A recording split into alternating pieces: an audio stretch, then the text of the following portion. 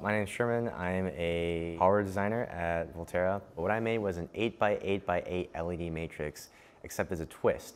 Instead of using normal through-hole LEDs like most people do when they make an LED cube, I used surface-mounted LEDs that were reflow soldered onto layers of transparent PET, which would normally be either impossible or very difficult because you would have to solder the leads directly to the LEDs. With the V-One, we can do reflow onto a bunch of different substrates, including ones that are transparent. So I was just trying to check the capabilities of prototyping on Flex, uh, especially with regards to soldering and reliability. Because this project, um, there's a whole lot that can go wrong, especially with 8x8x8. So that's 512 LEDs you have to reflow solder. There's a lot of traces, and if any one of them breaks, then you know that the process isn't going to be reliable for prototyping on Flex.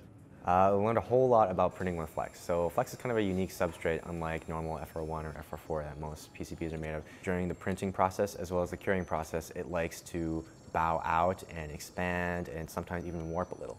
So you have to pay very close attention to make sure everything is perfectly flat, both during printing, otherwise the print height won't remain constant, and as well during curing because the heat itself likes to make the substrate flex. So luckily we have thought up a good methods, and that is with using magnets to hold down the substrate onto a steel plate. So these magnets are very easy to apply, and they are very good at keeping the substrate flat. Prototyping on Flex, I think, has virtually been unheard of. Like before, I had never even heard of doing a project with Flex at all because there's a very large cost associated with getting Flex PCBs manufactured in the first place. So the V-One is really what made it possible at all.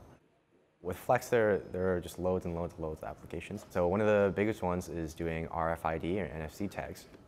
Normally, you'd have to buy the antennas yourself from some third-party supplier and work around their constraints. But with the V-One, you can print your own antennas to whatever spec you want. Flex also has a lot of potential applications for wearables, including embedded sensors for health, for fitness, tracking, as well as in uh, compact environments since the Flex can bend to un unusual shapes and it's also a lot lighter than rigid substrates. So in applications like aerospace or in satellites where weight is at a premium, Flex can help a lot. I remember seeing the opening on the job posting site at Waterloo and thinking, it was called Builder of Hardware, and the job description was pretty much just to have fun with hardware, to take the V-One and build stuff with it to prove that we can do things with it and to validate it and to show the world what we can do, its capabilities. So I thought, wow, that sounds really cool, both from the perspective that you know, I can kind of explore projects and learn about things that I want to, but also just working with the V-One at all is pretty amazing. As until now, the world of PCB prototyping has been pretty intimidating, even for an engineering student like me. I mean, to get it done, you need to get quotes from manufacturers and you have to do all sorts of crazy things, acid, etching, considering tolerances and whatnot. And I think the V-One kind of brings it a lot closer to home. So now you can see it on the desk, you can see it printing.